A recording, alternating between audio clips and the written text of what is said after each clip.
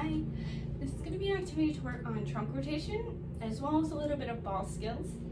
So what you're going to need is you're going to need a ball that bounces. Um, it's good to start with a medium-sized ball so they're getting used to it and then you can go to a smaller ball.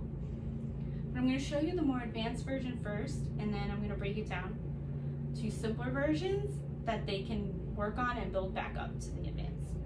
So the idea is to take the ball, rotate to one side, bounce it, catch, and come back up. Grab the ball, rotate to the other side, bounce, catch, come back up. So it looks like this, rotate, bounce, catch, rotate, bounce, catch.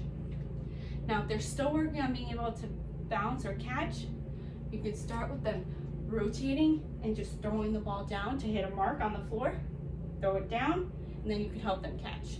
Just throw it down and have them bring it up and catch it. You put marks on either side so they have a target of where they should be bouncing or throwing the ball down to.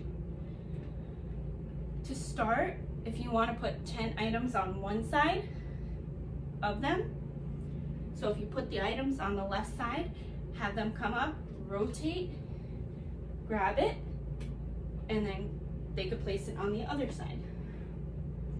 Come up, rotate, grab the ball, pick it up, put it down on the other side. So they're still getting that rotation, and once they finish the 10, bringing them from left to right, you can start on the opposite side. Start, rotate, come up, and bring it back down. So those are like a few different versions. Try the bouncing first. Mostly where they are, they're probably gonna start with putting the balls on one side, picking them up, and then bringing them and putting them on the other side. Or they're just gonna be able to throw it down, but keep working on it, keep having them throw it and helping them catch it. You can use hands over hand to help them catch. But the big idea of this exercise is to get that rotation in their trunk. Work on that core and bringing it down, up and down.